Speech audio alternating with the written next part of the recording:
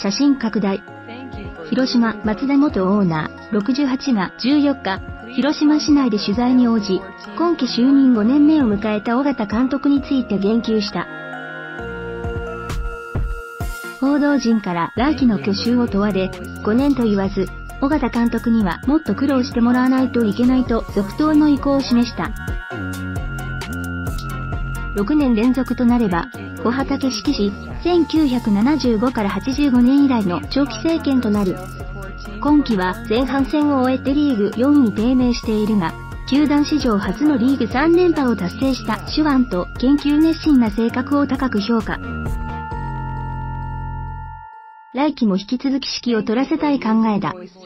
現在、チームは引き分けを挟んで99年以来、20年ぶりの11連敗中。松田オーナーは、チームはアップダウンはあるから気楽にやればいい。